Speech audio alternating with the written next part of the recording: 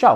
Pirms ķeramies klāt, ļoti iesaku vispirms noskatīties man iepriekšējo Sonus video, kurā pastāstu galvenās lietas, kas jāzina par šo ekosistēmu. Ja tas jau darīts, tad varam sākt.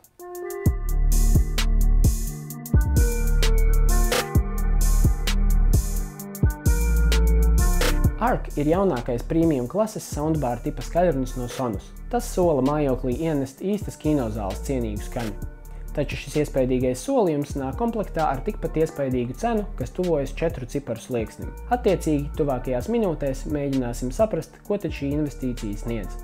ARC vairāk nekā metru garajā korpusā iebūvēti 8 zemo frekvenču un 3 augsto frekvenču skaļruņi, kas izvietoti dažādos leņķos, lai radītu maksimāli plašu skanējumu un realistisku 3D skaņas pieredzi, izmantojot jauno Dolby Atmos tehnoloģiju. Par šo uzreiz parunāsim detalizētāk. Ja nezini, kas ir Dolby Atmos, iespējams esi dzirdējis par Dolby Digital, kas ir šīs tehnoloģijas priekštecis. Īsumā Dolby Digital ir skaņas formāts, kas ļauj izmantot tā saucamās 5.1 audio sistēmas, lai radītu sajūtu, ka audio virzās visapkārt klausītājiem. Tehniski tas nozīmē, ka mājās uzstādot piecus skaļruņus un subwooferu, Audio sistēma parūpēsies, lai, piemēram, tie trokšņi, kas filmā notiek galvenajam varonim aiz muguras, arī tiktu atskaņoti kādā no aizmugurē esošajiem skaļruņiem. Dolby Atmos savukārt burtiski paceļ šo ideju nākamajā līmenī, jo skaļruņi jāizvieto ne tikai horizontāli, bet arī vertikāli. Tas nozīmē, ka šī kļūst par trīsdimensionālu pieredzi, ko visvieglāk paskaidrot ar piemēru. Ja filmā redzi helikopteru, kas lido virs galvas, ar Dolby Atmos tehnoloģijas palīdzību iespējams radīt sajūtu, ka lidaparāts tiešām atrodas virs tevis. Nākamā lieta, par ko var rasties jautājumi, kā tad Sonos Arc var atbalstīt Dolby Atmos, ja skatāmies uz vienu ierīci, kas novietota pie televizora, nevis klasiskajām 5.1 skaļruņu sistēmām, kas izvietotas visapkārt? Ja Dolby Digital zina, uz kuru no fiziski redzamajiem skaļruņiem jāpadod konkrētā skaņa, tad Atmos spēja izrēķināt skaņas atrašanos 3D telpā arī ar mazāku skaitu skaļruņu.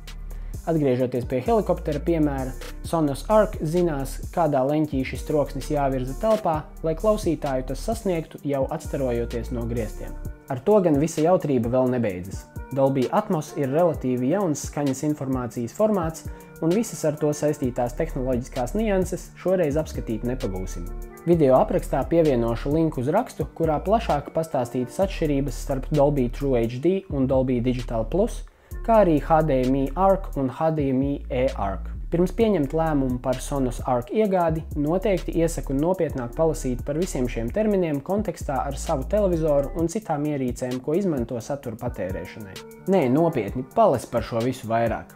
Piemēram, es ikdienā izmantoju Apple TV, Taču, lai setupu vienkāršotu, bet tomēr tiktu pie Atmos, Sonos Arc testēju kopā ar Samsung televizorā iebūvēto Netflix aplikāciju.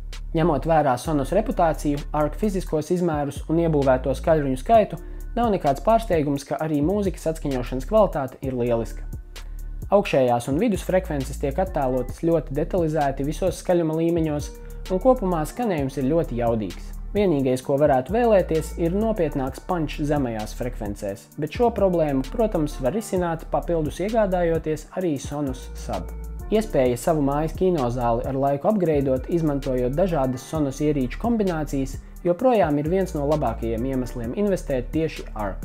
Manis testētā kombinācija ar diviem Sonos One SL, kas novietoti telpas aizmugurē, deva vērtīgu pienesumu kopējai TV skatīšanās pieredzei, vēl precīzāk ļaujot izbaudīt atsevišķu skaņu atrašanos telpas konkrētā punktā.